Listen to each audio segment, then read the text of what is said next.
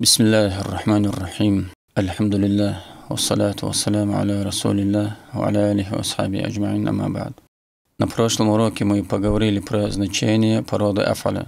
Продолжим начатое. Пятое значение породы афаля – это аль-вуджуду аля сифатин. Вуджуду шейн аля сифатин. Указание на обнаружение свойства или качества, на которые указывает корень глагола. Например, абахальтуху. Я обнаружил его скупым. То есть ваджаттуху бахилен. Я образован от корня бухлен, скупость. А'замтуху. Я обнаружил его великим. Акдабтуху, я обнаружил его лживым, застал его лживым. Отсюда и вид кирата в словах Всевышнего «Ля фаиннахум ля юкадзибунака».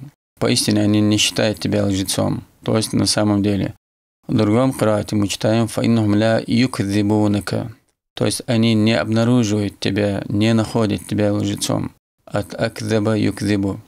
Ма аджбантуху, я не обнаружил его трусом. Сюда же некоторые относят аят «Фалямма руайнаху акбарнаху». А когда же они увидели его, то есть те женщины увидели его, то есть Юсуфа, они возвеличили его, акбарна возвеличили. То есть обнаружили его великим, то есть наделенным великой красотой. Также аят «Валя туты ман агфальна кальбаху». Не повинуйся тому, чье сердце мы сделали беспечным. В другом толковании сказано «Агфальна кальбаху», чье сердце мы обнаружили беспечным. Шестое значение – муафакату сулятия – соответствие по смыслу трехбуквенному глаголу по модели фа'ля или фа'ля, например, ва'a и ау'a – собирать, вмещать, а также запоминать. Сара и асра – идти ночью, сака и аска – напоил. Так в Коране мы читаем «Васакахум раббухум» – напоил их Господь, то есть напоит их, несомненно.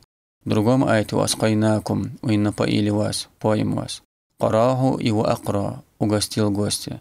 «Шарака» и «Ашрака» – восходить. «Эда'ина» и «Эдa'на» – повиноваться. «Галима» и «Агалима» и так далее. Седьмое значение – это «Ат-тасиру» «Авиддалялят аля катрати» – указание на многочисленность того, на что указывает корень глагола. Или как еще его называют «Ат-тасиру», то есть указание на то, что файл, действующее лицо, стало обладателем того, что обозначает корень глагола. Например, «А'аля роджулю» в основе был «А'аля». Мужчина имел большую семью. «Адаббатиль арду» – «Адбабат» в основе. На этой земле водилось много медведей. «Азбаатиль арду» – водилось много газелей.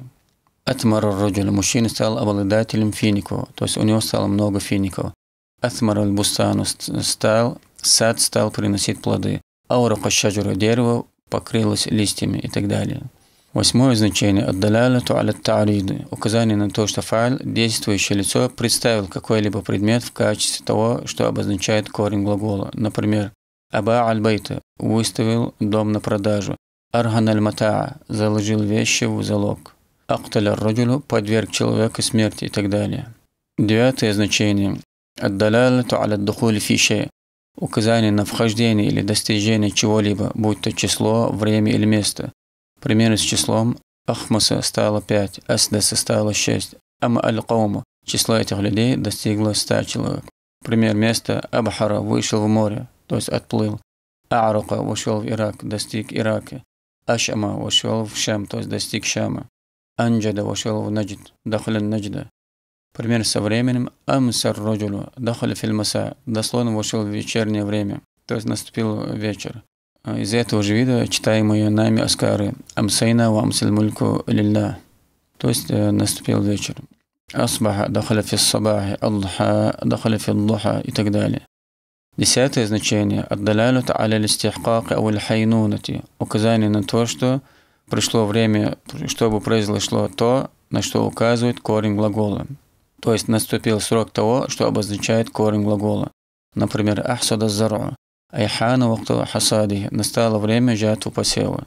Азваджат фатату. Девушке пришло время выйти замуж. Асрман нахлю. Нахилу. Настало время собрать плоды пальм и другие значения, которые мы не упомянули. Иногда упомянутые эти значения, они могут пересекаться в одном и том же глаголе в зависимости от контекста. Аллаху алям.